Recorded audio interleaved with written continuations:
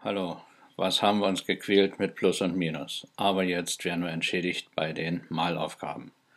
Brüche multiplizieren, das geht ziemlich einfach. Wir gucken uns jetzt mal eine Beispielaufgabe an. 3 Achtel mal 4 Fünftel.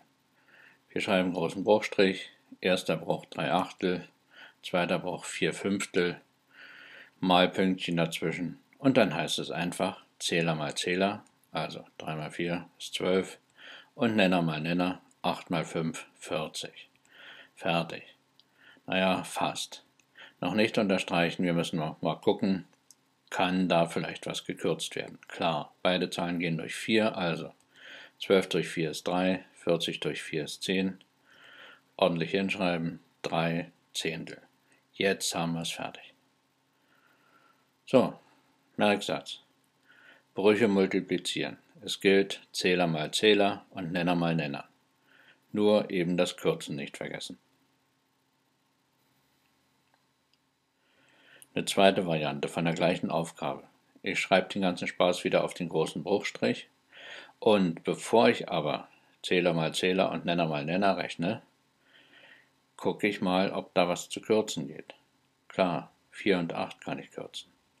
Also 4 durch 4, 1, 8 durch 4, 2. Jetzt rechne ich nur noch 3 mal 1 ist 3, 2 mal 5, 10. Okay, fertig. So, das war die ganze Kunst des Brüche Multiplizierens. Und weil das so einfach geht, das Dividieren, das Teilen gleich noch hinten dran. Beispielaufgabe ein Achtel geteilt durch 5 Sechstel. So, großer Bruchstrich, ein Achtel. Und jetzt aufpassen, wenn es geteilt heißt, dann nehme ich den zweiten Bruch auf den Korb. Also ich multipliziere mit dem Kehrwert 6 Fünftel. So, und dann geht alles wie gewohnt. 1 mal 6 ist 6, 8 mal 5 sind 40. Nee, nee, nee, nee, noch nicht unterstreichen, erst kürzen. Beide Zahlen gehen durch 2, also 6 durch 2 ist 3, 40 durch 2 20. Jetzt ordentlich hinschreiben und dann sind wir auch wirklich fertig. So läuft das. Merkregel, Dividieren von Brüchen. Der erste Bruch wird mit dem Kehrwert des zweiten mal genommen und das Kürzen eben nicht vergessen.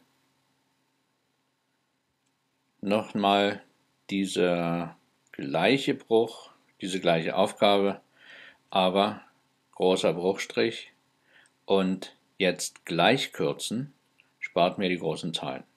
Also ich gucke, kann ich hier irgendwas kürzen? Klar, 6 und 8 gehen beide durch 2. Also 6 durch 2 ist 3, 8 durch 2 ist die 4. Und jetzt rechne ich 1 mal 3, habe ich die 3. Und 4 mal 5 bin ich gleich bei der 20. So, ich spare mir also Rechnen mit großen Zahlen wenn ich schon auf dem langen Bruchstrich kürze, was das Zeug hält. Ergebnis 23.